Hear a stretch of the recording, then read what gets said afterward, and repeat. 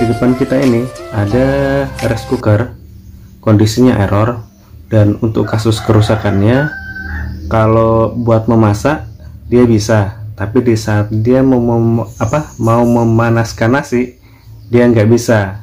Gitu yang akhirnya nasinya itu dingin gitu. Dan akan kita cek ya bagian-bagian yang mana yang error ya. Nih.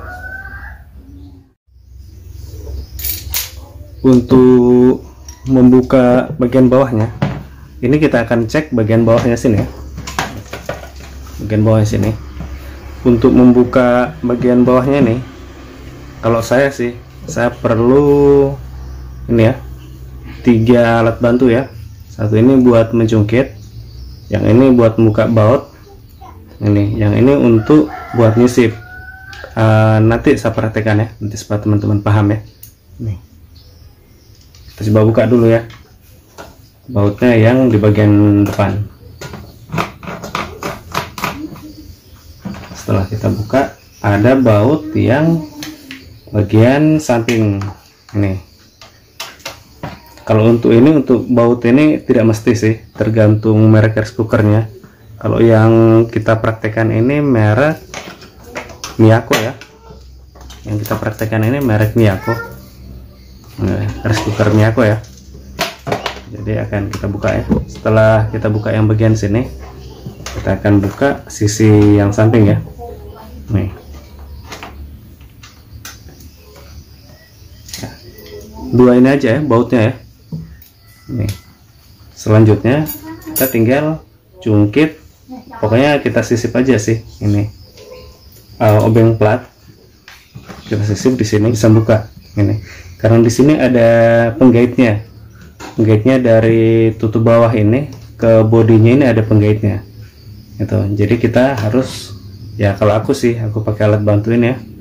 Nih malum lah ya. Uh, buat yang ini ya buat pemula ya. Seperti saya ini yang saya paham uh, yang saya paham pakai ini ya. Kalau profesional ya mungkin alatnya lain ya. Lebih simpel lagi ya.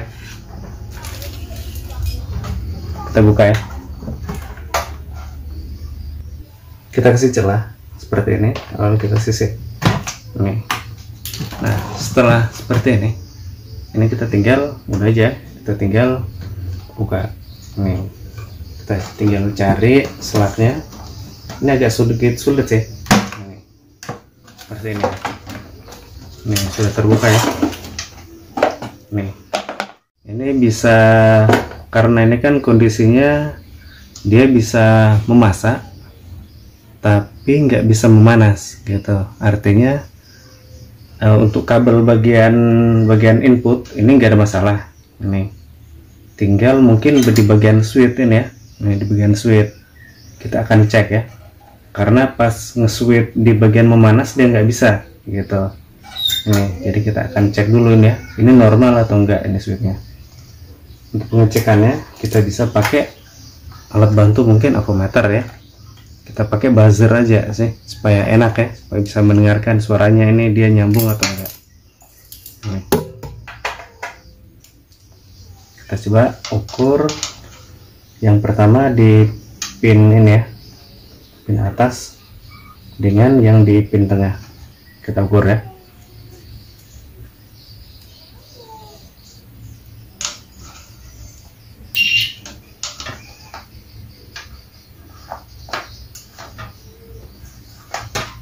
seperti ini.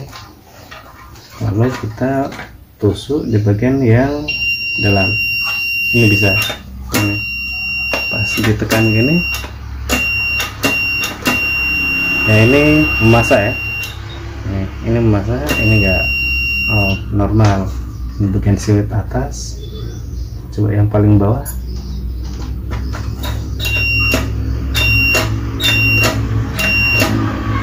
artinya untuk sulitnya ini nggak ada masalah ya.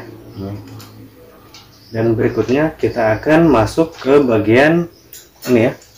Ke bagian termostat ya. Ini untuk jalur termostat itu dari kabel ini ya kabel tengah. Tujuh setengah dari dari switch ini kita akan cek ke bawah. Ini. Untuk pengecekan termostat itu sama dengan itu termostat itu sekring gitu. Jadi kalau putus atau rusak jelas dia nggak terhubung Tuh. kita akan coba cek dulu ya.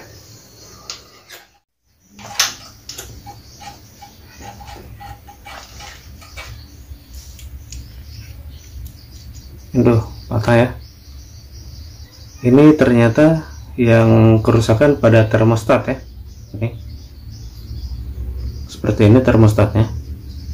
Dan ini patahan ya kebakar ya bagian belakangnya. Seperti ini. Ini untuk pengukur suhu ya. Ini termostat. Untuk penggantian termostat baiknya itu disesuaikan dengan aslinya teman-teman ya. Kalau ini kan untuk rice cooker Miyako ini termostatnya ini ya tertulis 250 volt 5 ampere di bawahnya itu 81N ini 81N ini 81 derajat. Kalau T15 T150 ini tipe ya yang mungkin mungkin uh, tipenya gitu kan tipe dari termostat dari rice cookernya ya. Jadi nanti disesuaikan teman-teman ya. Kalau untuk uh, selisih-selisih sedikit ini di temperaturnya nggak apa-apa. Ini mungkin ada uh, 80 80N atau 85N masih bisa dipakai. Ya. Dan untuk gantinya ini saya sudah belikan. Saya belikan ini ya termostat. Seperti ini. Agak sedikit beda sih dengan aslinya. Cuma bisa aja yang dipakai. Nih seperti ini ini aslinya. Yang ini yang ini gantiannya ya karena untuk mencari yang persis ini di tempatku nggak ada. Jadi adanya yang mendekati jadi nggak apalah ya. Jadi aku pakai ini yang ini ya. Ini 85 ya 85 derajat ya. Ini 81 selisih sedikit sih. Ya nggak apa-apa lah Udah. berikutnya kita akan untuk pemasangan ya. Ini untuk pemasangannya kita pasang sama seperti ini ya yang di tempatnya kita pasang kembali ya. Ini. Untuk pengukuran termostat kalau yang nggak putus yang nggak yang normal ya. Seperti ini ya. Ini ya. Itu ya avometernya bunyi ya. Artinya ini termostat ini saya kering. Ini ya. Jadi kalau dia putus atau rusak jelas tentunya tidak terhubung ya. Dari ini dari dalamannya ya. Ini ini ya. Ini harganya kalau di tempatku ini 15.000 kalau di tempat lain mungkin lebih murah lagi ya. Ini kalau saya cek dari di internet ini harganya di bawah dari lima uh, di bawah dari lima ribuan. Ada yang 3000 4000 ya. 5000 juga ada. Nih kalau tapi kalau di tempatku ini 15000 kalau di tempatku. Jadi kasusnya cuma di sini aja ya. Jadi teman-teman kalau anda kata ada dapati kasus seperti ini nanti bisa cek dulu ya bagian switch kalau switchnya ini normal berarti kita pengecekan ke jalur ini. Ini. Nih kita cek juga kabelnya ya bagian kabel. Kalau kita pas hubungkan yang seperti ini dia bunyi kita juga dulu cek dulu kabelnya. Kalau semuanya nyambung berarti baru kita merembet ke tempat lain lagi ke komponen lain ke pengecekan cuma umumnya sih di bagian ini sih ini. Dan juga di bagian switch gitu ya. Kalau di switch nggak rusak ya umumnya yang inilah gitu. Yang menjuru ke sini. Itu ya teman-teman. Kalau sudah dipasang kita tinggal rapikan lagi sudah bisa dipakai lagi seperti biasanya. Aja ya teman-teman. Uh, ilmu yang sedikit ini yang bisa saya bagi insyaallah mudah-mudahan berkah ya dan bermanfaat buat kita semua. Saya akhiri ya videonya.